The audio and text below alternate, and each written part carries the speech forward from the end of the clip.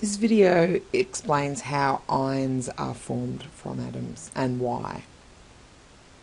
Okay, an atom. An atom has one dream in life, and that dream is to get a full outer shell of electrons. Let's have a look at magnesium. Magnesium always is written with two numbers here. Top number here being the atomic number, the bottom number being the mass number.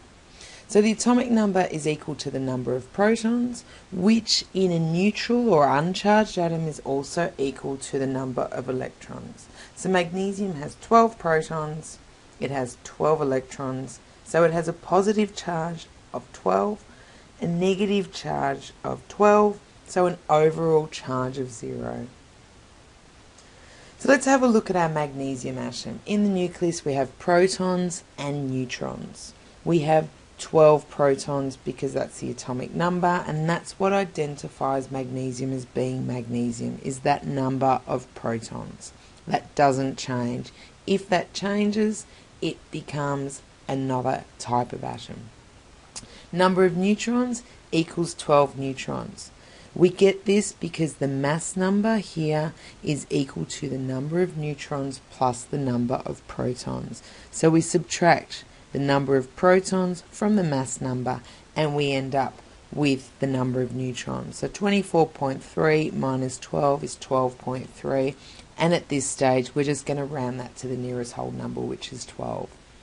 So we've got 12 protons so we'll also have 12 electrons. So we have 2 in the first shell, we have 8 in the second shell and in the last shell to make a total of 12 we will have 2 electrons. So we have a total of 12 electrons.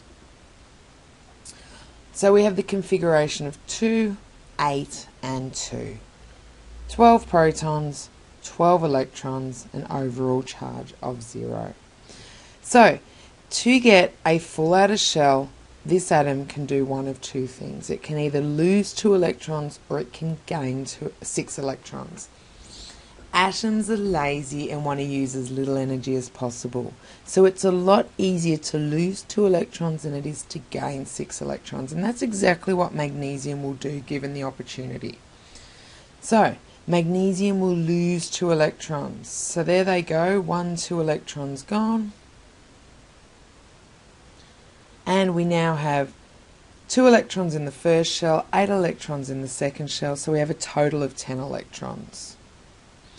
So we've got 12 protons, 10 electrons. We've got a total charge now of plus 2.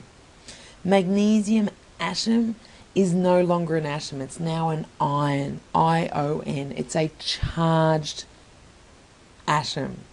So it is written as the symbol Mg with a 2 plus to indicate the charge there that it's lost two electrons.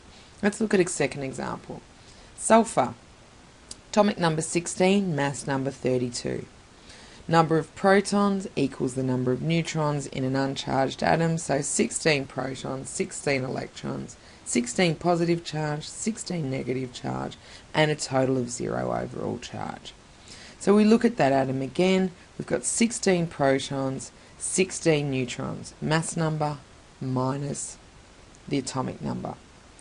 So we've got two electrons in the first shell, and we've got 8 in the next shell and we will have to have 16 in the third shell.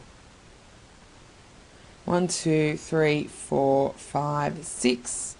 6 in the third shell, which gives us a total of 16 electrons. So we've got a configuration of 2, 8 and 6. Protons we now have 16, electrons we have 16, so we've got an overall charge of 0. So to get a full outer shell now, sulfur can do one of two things. It can either lose six electrons or it can gain two electrons. It's going to take the easy option, which is to gain two electrons. So this is going to become 8 in the outside shell and we're going to get 2 electrons jumping in. There they are, 1, 2.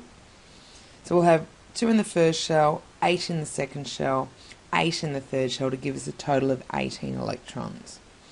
So if we have a look now, we've got 16 protons, because that doesn't change. We've now got 18 electrons, so we've got an overall charge there of plus 16 minus 18 equals minus 2. The sulfur atom is no longer a sulfur atom, it becomes a sulfur ion with a charge of negative 2 or 2 negative, which is what we worked out here. Third example here is sodium. Atomic number of 11. So we've got 11 protons and we've got 11 electrons. So our overall net charge here is 0. So we've got 11 protons and 12 neutrons. Remember, 22.9 minus 11, it's pretty much 23, so we can say 12. 2 in the first shell, 8 in the next shell, and 1 in the outside shell to give us a total of 11 electrons. Got a configuration of 2, 8, 1, 11 protons, 11 electrons. We've got a 0 overall charge. So to get a full outer shell, it can either lose one electron or gain seven electrons. It's going to choose to lose one electron. There it goes. And now we have two in the first shell, eight in the second shell, so an overall of 10 electrons. We add those up again. So we've got 11 protons, 10 electrons, so a total of positive one charge. So sodium atom is now an ion. An ion is a charged atom and it's written as Na positive. This positive here could be written as 1 positive, um, but we assume with just a positive there that it means that it's got a positive 1 charge. Okay, so let's have a look at the trends on the periodic table. In group 1, you know that all atoms have got one electron in their outer shell. In group 2, they've got two in their outer shell, and so on. Group 1 atoms will all lose that one electron to become a positive 1 charged ion. For example, sodium, Na positive. Group 2 will lose 2 electrons to become a 2 plus ion. Example, magnesium 2 plus. Group 3 will lose those 3 electrons to become a 3 plus ion. For example, aluminium 3 positive. Group 5 are going to gain 3 electrons to get 8 in their outside shell. So they'll become a 3 negative charge because they've gained 3 electrons. And phosphorus, an example of that, it becomes phosphide. We change the ending to IDE when non-metals have gained electrons and become ions. Group 6 has gained two electrons, so it becomes a two negative charge. So sulfur becomes sulfide. And group 7 gains one electron to become one negative charge. For instance, chlorine is now chloride with a one negative charge. So we can use the periodic table to look and see that all of group 1s have a plus 1 charge, all of group 6 have a 2 negative charge. So it makes it nice and easy. We don't have to go and work it out all the time. And just to remember, group 8 doesn't change. They've got a full outer shell and that's why they're known as the noble gases. They don't like to react.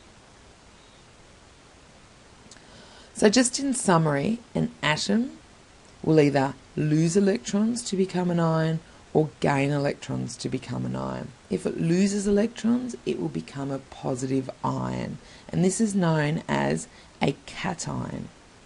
If it gains electrons, it becomes a negative ion. This is known as an anion. Two ways to remember this, oh well, to remember each one. I've seen, this is how I got taught. Um, you can draw a cat with one of those cross noses. A lot of people draw cats that way. So you've got positive cat ion is a positive ion. Okay, the, we used to call them pussy cats when I was younger, so it's a positive pussy cat. An anion, a negative ion. A negative ion. So try and remember this one in particular, A negative ion, and also your positive pussycat.